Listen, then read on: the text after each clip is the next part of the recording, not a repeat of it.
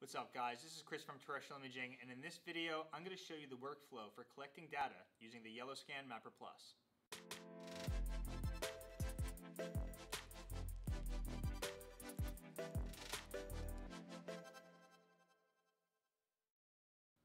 Alright guys, so when drone mapping there's going to be data collection out in the field and then there's going to be post-processing.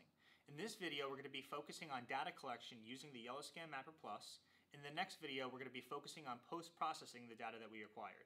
So let's get started. First, we're going to create an automated mission plan using UGCS.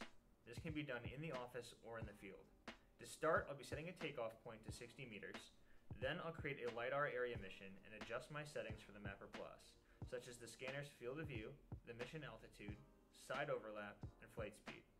Once the area is created, the grid lines will be automatically populated and can be adjusted if needed. We like to use UGCS primarily because of its built-in LiDAR calibration tools and elevation data.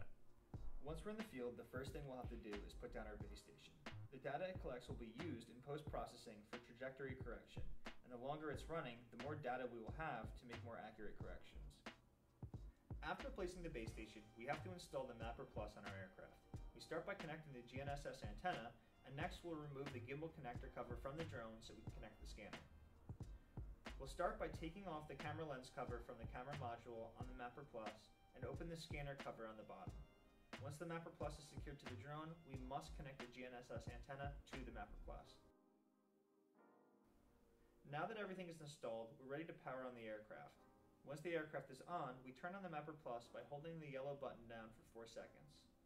Our Mapper Plus is drawing power from the aircraft's batteries. However, you also have the option to use the external batteries that come with the Mapper Plus to power it. When the Mapper Plus is powered on, you will see the indicator lights blink as the device searches for satellites and the IMU initializes. The lights will go from blinking to solid when it's ready to collect data. Before the flight, you'll have to click the yellow button one more time to start logging data.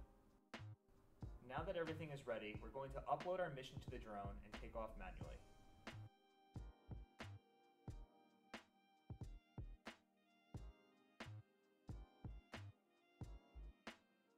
Flying with the Mapper Plus, YellowScan recommends a fully manual takeoff and IMU calibration. The manual calibration consists of a series of forward and backwards movements with a final U-shaped movement where the front of the drone is always facing in the direction that it's moving.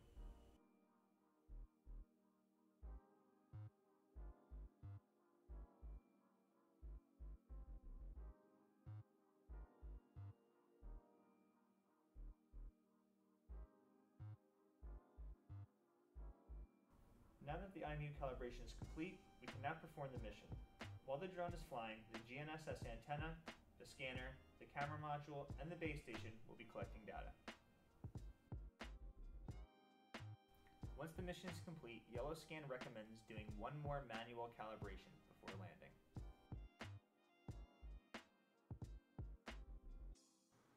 So when you're done flying, you'll have up to three different memory cards. If you have the camera module, you'll have one there, and those files will be used to colorize your point cloud. The scanner will have one itself, which will have the LiDAR data, and then if you're using a base station, you'll have one there.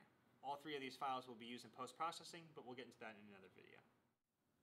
Alright guys, so that wraps up this video. Be sure to look out for the next one and visit us online at terrestrialimaging.com.